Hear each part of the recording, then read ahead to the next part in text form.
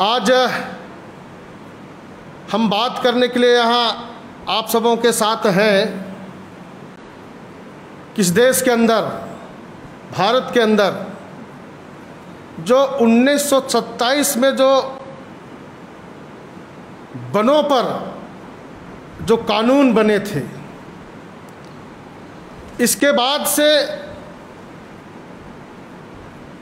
उन्नीस सौ इक्यासी, अस्सी, इक्यासी में यह देश के अंदर यह जो है वन नेशनलाइज हुआ था। इसके बाद से जनजाति समुदाय, जंगल और जनजाति समुदाय का दोनों का एक अनोनाश्रय संबंध है। जनजाति का जीवकों का साधन फॉरेस्ट प्रोड्यूस से ही होता रहा था। उस पर वो आश्रित थे।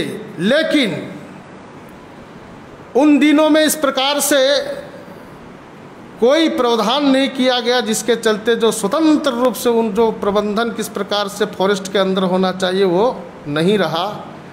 और जनजाति समुदाय कई चीज़ों से वंचित रह गए। आप सबों को पता है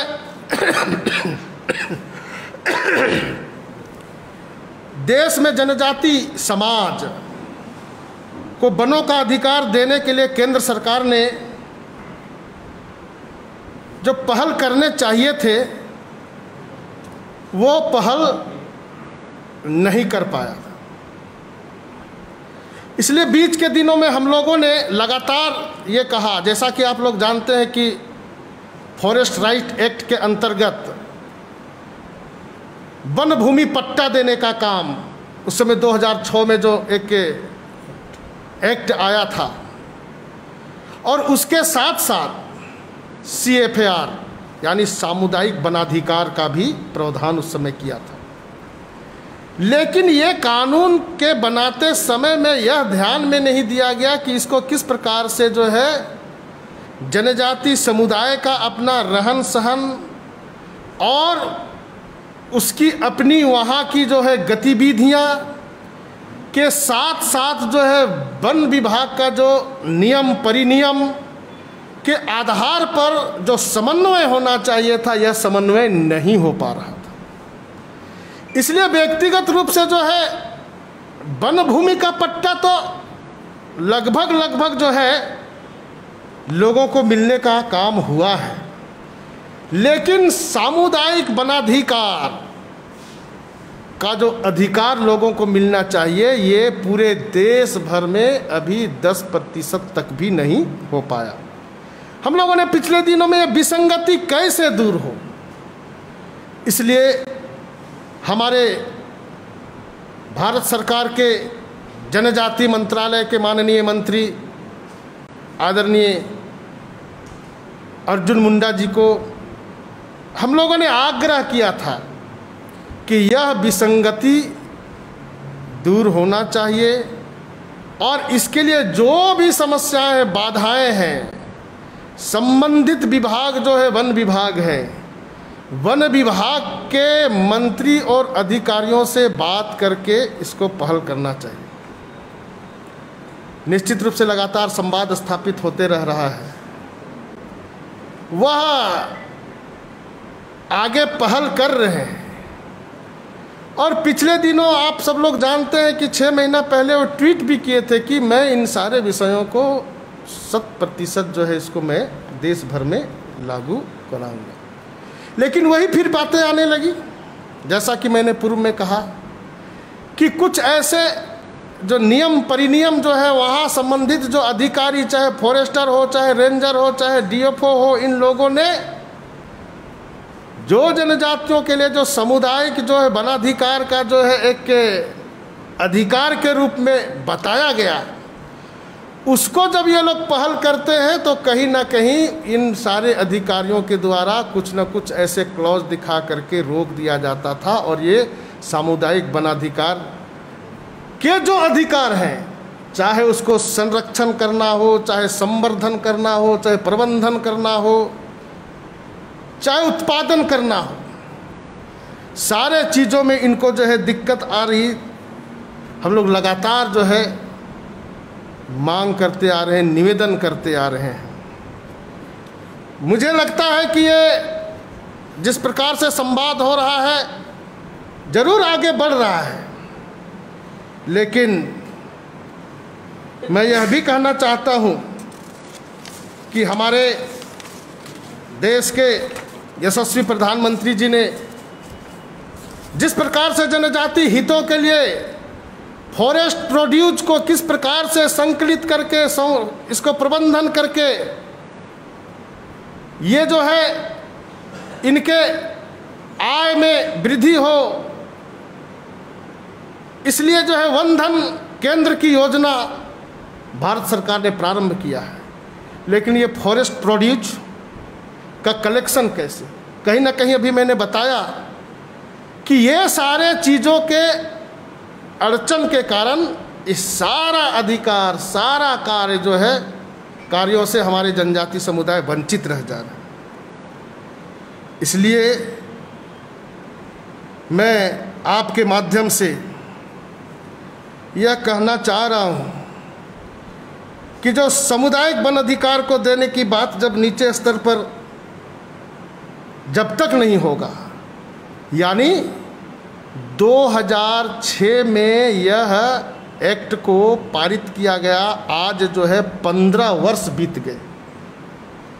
इसके बावजूद जो है यह राज्यों में यह नहीं लागू हो पाया है, पारित नहीं हो पाया है। इसलिए बार बार हम लोग आग्रह कर रहे हैं केंद्र सरकार से, निवेदन कर रहे हैं।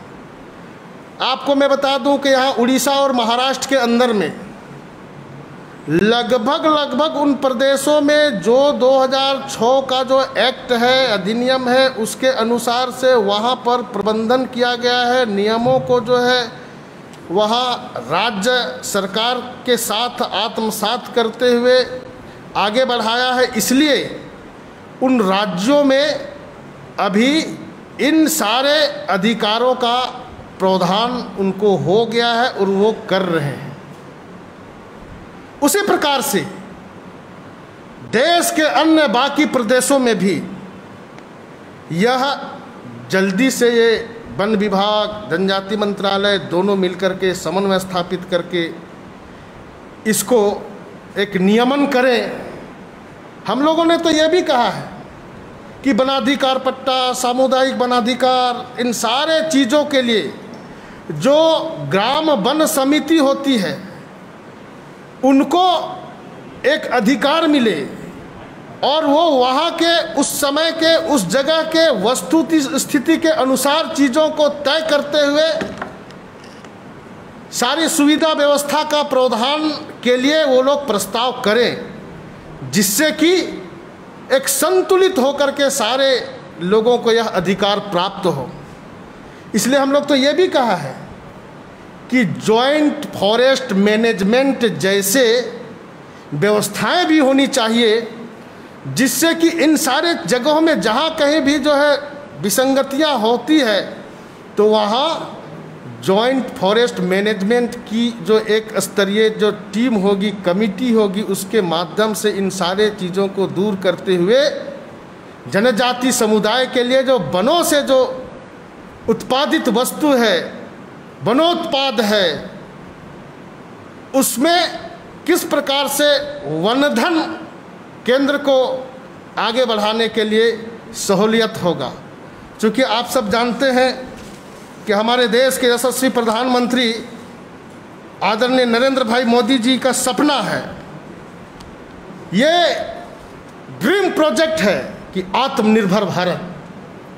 और ये आत्मनिर्भर भारत के लिए हम जो इस देश के सभी वर्गों को किस प्रकार से समान रूप से सबका साथ, सबका विकास, सबका विश्वास के साथ आगे नहीं बढ़ाते हैं तो ये आत्मनिर्भर भारत को हम जो है इस सपना को पूरा जल्दी नहीं कर सकते। इसलिए समाज के अंतिम इकाई में रहने वाले, जंगलों में रहने वाले, वनग्राम के लोग, वनवासी, जनजाति, आदिवासी समुदाय के लोगों को यह अधिकार मिले ताकि प्रधानमंत्री जी का जो है वन धन योजना का जो है वन धन केंद्र, इस वंधन केंद्र के माध्यम से फॉरेस्ट प्रोड्यूज को ठीक ढंग से उत्पादित करते हुए, संकलित करते हुए, प्रबंधन करते हुए ये आगे बढ़े और जिस प्रकार से आप जो है किसानों के लिए जो एफ़ है, उस प्रकार से सभी प्रकार की जो, इस प्रकार की जो संस्थाएँ निर्मित होकर करके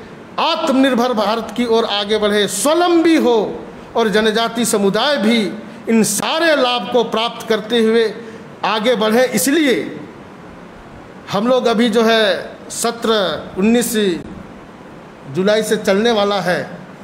तो हम जनजाति मोर्चा की ओर से हम लोग जो है केंद्र सरकार से हम लोग निवेदन करते हैं, मांग करते हैं कि उसके पहले पहले अगर ये सारे चीज़ें नियमन हो करके जनजाति समुदाय के लिए आप अगर समर्पित करते हैं तो निश्चित रूप से जनजाति समुदाय अपने विकास के रास्ते आगे बढ़ेगा। यह आशा, अपेक्षा करते हुए मैं पुनः केंद्र सरकार से और ख़ास करके जनजाति मंत्रालय और वन मंत्रालय से मैं आग्रह करता हूँ कि ये सत्र के पहले इसको आप नियमन करें। ऐसा कहने के लिए ही आप सबों के माध्यम से हम एक प्रेस वार्ता के माध्यम से यहाँ पर उपस्थित हुए थे। बहुत बहुत धन्यवाद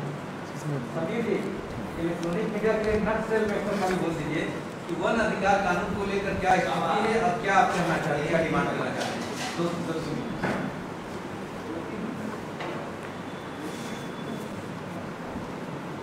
2006 में इस देश के अंदर फॉरेस्ट राइट एक्ट यहाँ पर लागू हुआ। इसमें दो प्रकार के चीज़ें थी। एक तो व्यक्तिगत रूप से वन भूमि पट्टा। दूसरा है कि सामुदायिक वनाधिकार का पट्टा।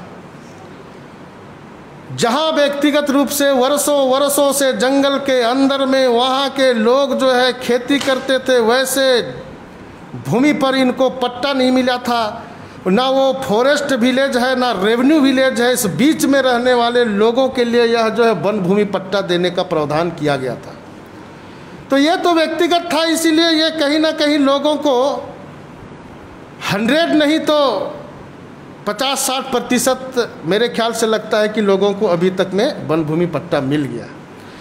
लेकिन सामुदायिक रूप से जो है, वहाँ के गाँव के लोग, ग्राम वन समिति के लोग जिस प्रकार से वहाँ के फॉरेस्ट प्रोड्यूस को जो है एक साथ में वो कलेक्ट करके, उत्पादित करके, प्रबंधन करके जो है व्यापार के क्षेत्र में आगे बढ़ कर के अपनी आमदनी और अपनी आय को वृद्धि कर सकते हैं, ऐसे क्षेत्रों में उनको बाधा आया है।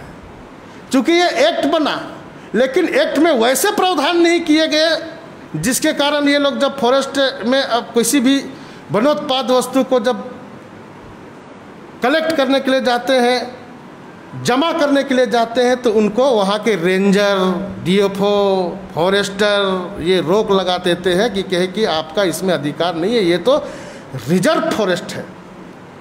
रिज़र्व प्रोटेक्टेड एरिया में आपको निषेध है, यहाँ नहीं जा सकते हैं। तो ये कहाँ से वो वनोत्पाद की चीज़ों को ला सकते हैं? ये आप एक्ट में एक के लाइन तो दे दिए कि सामुदायिक वनाधिकार भी आपको प्राप्त होगा, लेकिन प्रावधान आपने नहीं किया। तो ये सारी चीज़ें कैसे उन लोगों को मिले? सरलीकरण कैसे हो? व्यवस्थित कैसे हो? इसलिए हम लोगों ने मांग किया था और करते रह रहे हैं। और हम यह भी आग्रह कर रहे हैं कि ये करते करते बहुत दिन हो रहा है, इसलिए अभी जो है वंधन केंद्र के माध्यम से लोगों को और आगे बढ़ाना, आत्मनिर्भर भारत की ओर आगे ले जाना है इसलिए ऐसे विसंगति को दूर करें, इसलिए केंद्र सरकार से हम लोग निवेदन कर रहे हैं।